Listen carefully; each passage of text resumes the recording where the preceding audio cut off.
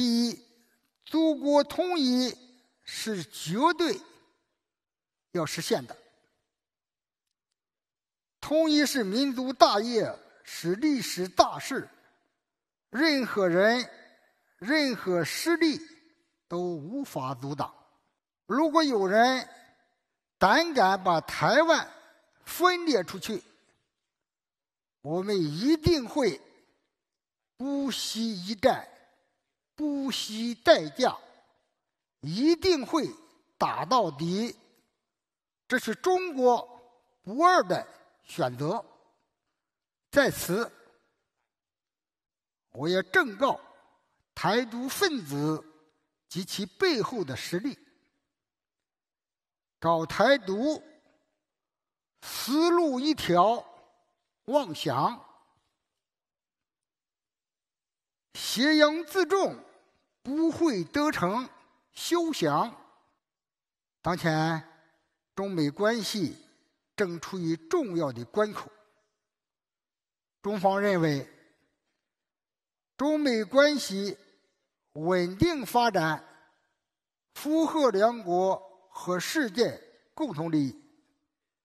中美作为世界上的重要大国，世界的和平发展离不开。中美的合作，对抗对两国和世界都没有好处。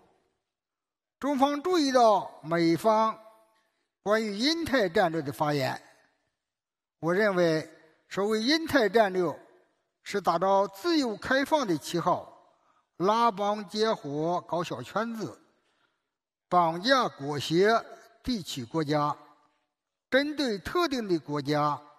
渲染冲突对抗，打压遏制围堵别人，乌克兰危机，这是世界近期关注的焦点，对国际战略格局带来重大的冲击和影响。中方对目前的局面深感遗憾和痛惜。冲突发生的第二天。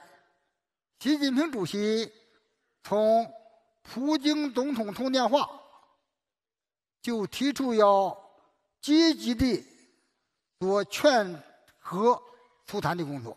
你提到了中国向俄罗斯提供支援的问题，我也可以明确的告诉你，在乌克兰问题上，因为俄乌的战争，中方没有提供任何的。武器装备。